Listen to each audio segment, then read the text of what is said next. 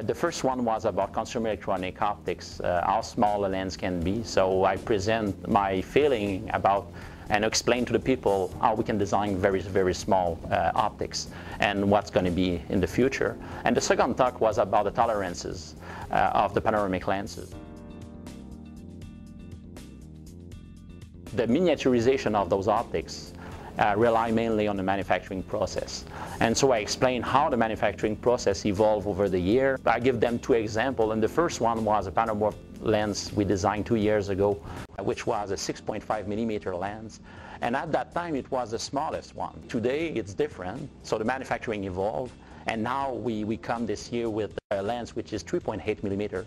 So it's more than roughly about 40% less in dimension than the one we designed two years ago.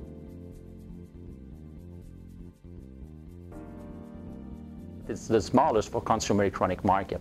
And that's really important because for consumer electronic market, you have to be able to produce those lenses as a million or thousand uh, million units per year. And you have also to have a very low cost. And that's, that's the challenge here to design a small lens, is to be able to design a lens which can be manufactured by standard manufacturer in consumer electronic market and also to get a design up to the point that the image quality is mainly perfect. The key is really about the manufacturing process. So the lens designer has, has to to get this information from manufacturing, uh, from the manufacturers, in fact, and try to put this as a kind of limit into the lens design software. And so with experience and with know-how, we are able, we have been able to design such a very, very small lens by integrating those manufacturing constraints into, into the lens design. And imagine that you have this kind of uh, wide-angle lens onto your cell phone.